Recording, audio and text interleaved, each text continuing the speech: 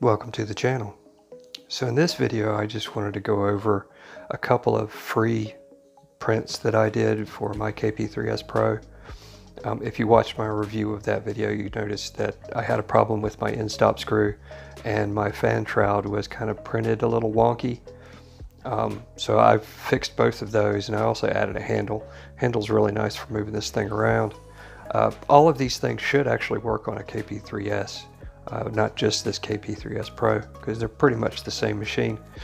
Anyway, I'm not going to show the printing of them, you know, it's going to be a really quick video. I will go over how I sliced them though. So let's get into how I did all this. Okay, so this is the first piece, which is your end stop screw. Not a whole lot that you need to do here. You just print it your standard way, whatever you're most comfortable with is fine. You do want to flip the model over though, so that the top is facing the bottom. That's really the only thing you want to do. Other than that, this thing prints just great. Okay, next up we have the actual handle. This is from Slice Engineering, and they give you two versions. One actually says Slice Engineering on it, I didn't use that version, I'm just using the plain one.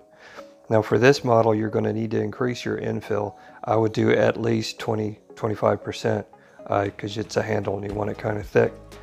It has a contour to it, so you do need to turn supports on in order to get that contour.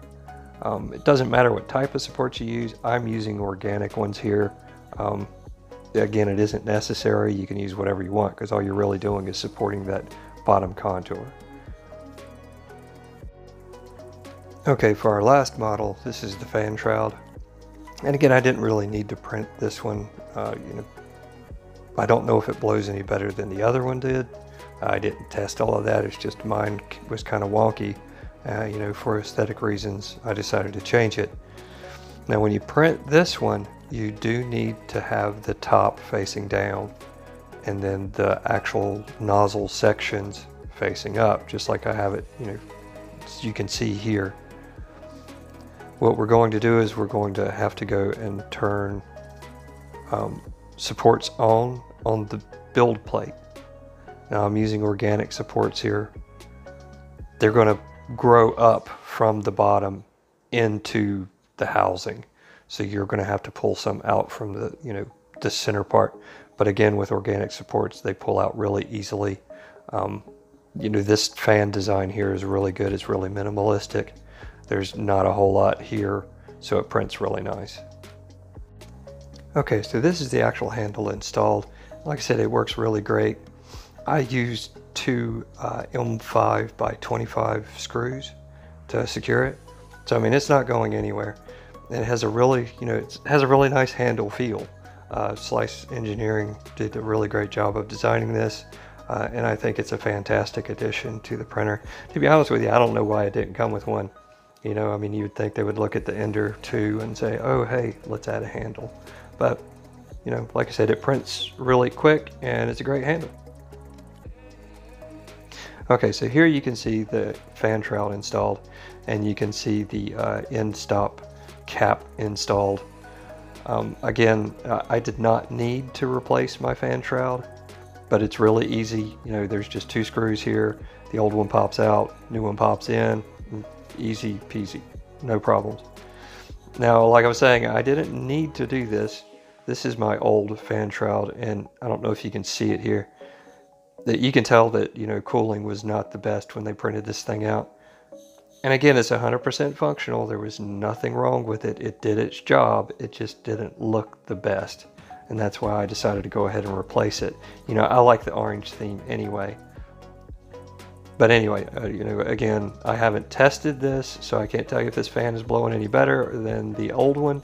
Um, you know, it is coming from two angles now. That's about the only thing that's different. And it seems to work good. Uh, just, again, I didn't test it. Now here's the uh, end stop screw. And this is fantastic. I used a M4 socket head by 16 and I can now actually lower you know, the end stop to where it needs to be so that I can put uh, half compression on all of my springs for my bed, you know, like you're supposed to.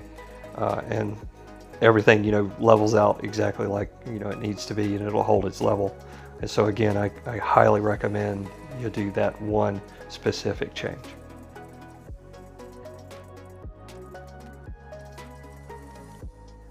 so in conclusion again you know you can see the three changes that I made here the end stop screw is highly recommended and the handle is highly recommended you know just for ease of use, you know, for mobility.